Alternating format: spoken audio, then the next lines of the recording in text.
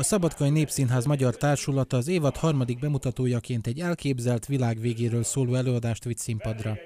A Camino Real szürreális játék egy fiktív helyszínen, ahol az író híres irodalmi karaktereket is felvonultat. Megjelenik Don Quixote, Sancho Panza, a Kamiliás hölgy, Casanova és Esmeralda. Gyakorlatilag minden történelmi személyiség vagy irodalmi alak találkozik egymással egy nem létező, fallal körülvett városban, amely egyfajta purgatóriummá válik a játék során. Keszég László 20 évvel ezelőtt találkozott Tennessee Williams kevésbé ismert darabjával, és azonnal megragadta a hangulata.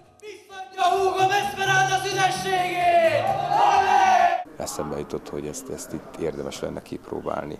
Ez egy rizikós lépés természetesen, hiszen relatíve száz százalékban egy szürreális darabról van szó, amely mint egy jó amerikai film, az minden szállat elvar. Azért úgy mondjam, hogy ez egy ilyen közönségbarát szürrealizmus.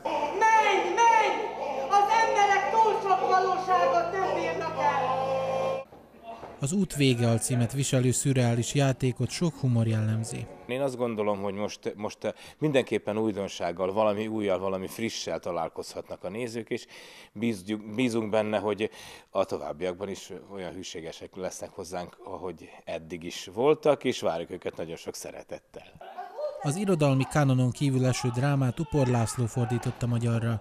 Azt mondta, bár beleszeretett a szövegbe, a végeredményen a fordítónak nem szabad látszódnia. Az ember rettenetesen sokat beletesz magából, és aztán ezt megpróbálja elrejteni, és úgy tenni, mint hogyha, mint hogyha mindezt a Tennessee Williams, vagy az Edward Bond, vagy a nem tudom kicsoda csinálta volna, és nagyon nagy baj van, hogyha ha úgy tűnik, mintha nem az eredeti szerzőtől volna. A Kaminorált magyar fordításban Szabadkán láthatták először, és láthatják önök, és márciusban többször is repertoáról lesz.